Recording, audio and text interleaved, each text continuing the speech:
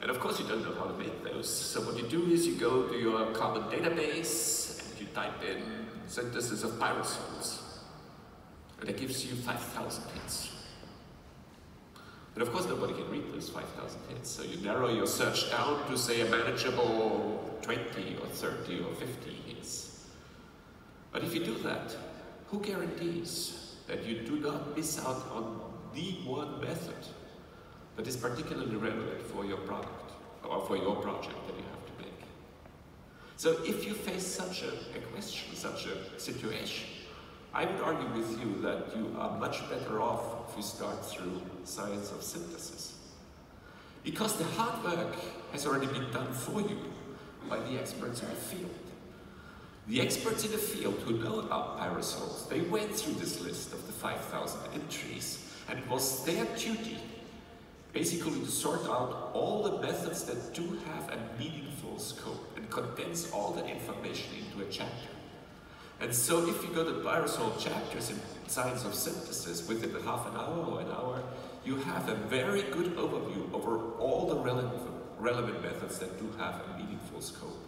And based on that information, you can then start to dig much deeper into that literature and to use the big database which is behind Science of Synthesis, which is fully searchable by text and by structure, etc., etc. And that saves you time, and that allows you to win out. And on top of this, Science of Synthesis also provides you directly with the procedures. So you don't have to link back to the original procedures in order to know if the particular method that you are considering works at cryogenic conditions or works at room temperature. All that information is already condensed there. So the mission of science of synthesis is to provide high quality information, pre-evaluated, sorted information uh, that has been assessed by the experts in the field. Now the standards, this mission of producing quality, a quality product is ensured by an editorial board currently consisting of nine people. You can read the names and you will see that some of those people belong to the most accomplished organic synthesis of the older generation and the younger generation from industry and from academia alike. So now you might think, okay, he's the editor-in-chief, so he has to say something good about this product, obviously. Now, that's fair enough. If you don't believe that my words are trustworthy, I can give you two pieces of evidence. First one is if you do not have any institutional access to science of synthesis, take advantage of the quite liberal policy of Thieme publishers. They will grant you access for a couple of days. You can go there, and play around, and I bet you that if you do that, most of you, if not all of you, will find the product easy to use, very intuitive, and very rich in information. So if you still don't believe me, let me cite two opinions of other people, what they think about science of synthesis. And I guess everybody in this room knows this gentleman. And let me read to you what he thinks about science of synthesis.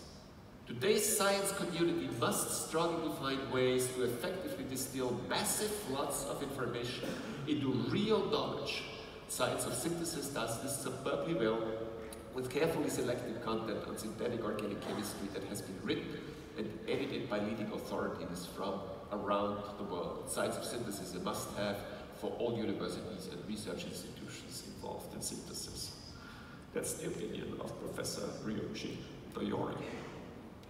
I may say, okay, the young generation, we are much better at navigating this uh, cyberspace and filter out all the relevant information than the old generation. So let's look at the young stars of synthesis, and we have heard this person just a hours ago. Science of synthesis is an indispensable tome of chemical information organized in an intuitive and logical way. It contains information on nearly every aspect of chemical reactivity and for me it is the go-to resource for rapidly learning about a new area. I use it regularly in preparation for classes and for consulting visits. It simply gives me the information I need far more easily than any search engine is capable of and very often contains references and insights that cannot be found anywhere else. The opinion of Professor Phil Baran. I have nothing to add to this, except that I think Science of Synthesis Thieme Publisher cares about the quality of the science. But Thieme Publisher does not only care about the quality of the science, Thieme Publisher also cares about the scientists. And therefore, Thieme generously sponsors two important awards. The first one is the Thieme IUPAC Award, which has become a very major prize for scientists, chemists under the age of 40 who have had an important impact on the field. And if you go to the list of the former awardees, starting with Stuart Schreiber and Paul Knochel in the 80s, going through the list to Neil Garg and Seth Herzon, it reads like the who's who. And today, we have the pleasure of starting a new award, the Dr. Margaret Faul Women in Chemistry Award, named after Dr. Margaret Faul, who is Vice President of Drug Product Technologies of Amgen, so whatever that means. I think I can say that she is probably one of the most visible, if not the most visible, female chemist in the pharmaceutical arena. And we were very happy, Science of Synthesis was very happy that we could convince Margaret Faul to join the board. And when Margaret joined the board, she came up with the idea, so let's listen, let's do something to promote women in science. And this idea was very enthusiastically received by the board and very generously supported by the Publisher. And of course we want to give this award in recognition for excellence in science, made by female scientists within the first 15 years of their independent career. At the same time, this award certainly also has a second message at the meta level. And the message we also want to convey is, and we all know that, that female scientists are still underrepresented in our discipline, and not only in our discipline. And I think we all know that this eventually has to change. And we also know that there is not just one mechanism and one button that you have to press and miraculously, prodigiously, everything will be good. There are many mechanisms that we have to work on.